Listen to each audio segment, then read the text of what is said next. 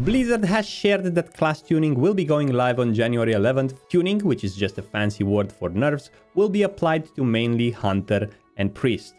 For Hunters, however, the nerfs are hidden under some actual buffs, an attempt by Blizzard to weaken the pet and strengthen the Hunter, swapping the power dynamic so the pet won't do more damage than the actual Hunter.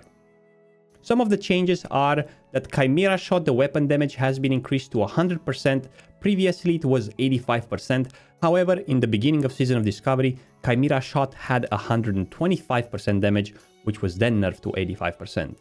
Another buff comes to Explosive Shot, which the base damage will be increased by 25% before the attack power modifiers. So if you have good gear, you will benefit more from it. However, Explosive Shot, we have to remember that in the beginning of Season of Discovery was also way overpowered, which was reduced to almost nothing of a rune. Now they're trying to bring it back slowly up there. And above that will change everything comes from the mana cost reduction of Chimera Shot, Explosive Shot, Carve, Kill Command and Flanking Strike. So mostly here we will focus on Chimera Shot and Explosive Shot, depending on which one will become the meta. That 50% mana reducement to the skill, it's quite huge because it will allow you to have mana for the entirety of the fight. Hunters at level 25 don't have intellect on their gear just like they have at level 60 and either don't have a lot of abilities to get back their mana during a fight. So if you're going on a pug, if the fights are too long and not short as they are in a guild or with people that know what they're doing, you will most likely run out of mana. This makes sense with the next changes which are the nerfs. The Beast Mastery rune bonus, health damage provided to hunters is reduced by 20%. So less health on the pets and less damage. Then we have the Beast Mastery rune bonus, focus regenerations reduced from 80% to 50%. That means that serpents won't be able to spam as much lightning breath and the damage will be lower as well. I think this is a preemptive a nerf for hunters as for phase 2 if you look into their talents they will get more uh, focus regenerations from deep into the beast mastery tree so they're just trying to keep it so in such a way so they won't be too overpowered. The developer note states, we remain concerned that hunter pets are still too powerful and believe that the best way forward is to reign in the Beast Mastery rune while compensating via the hunter's main spells. Not only this, but in a hotfix that went out last week, the boon of the Blackfathom world buff will no longer apply to pets.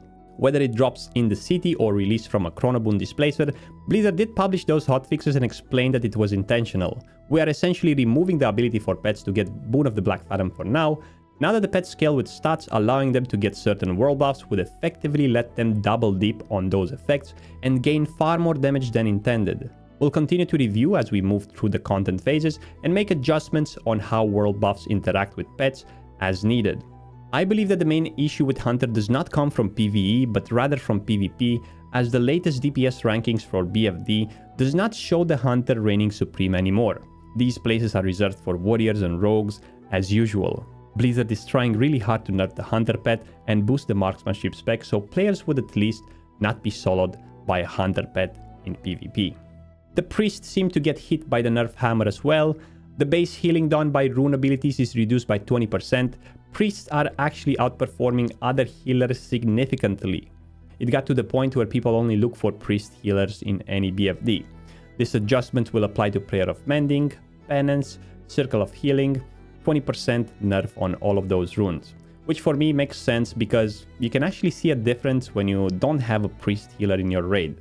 Last week I ran BFD with a shaman and a druid healer, and on Kelris for example, they struggled a bit.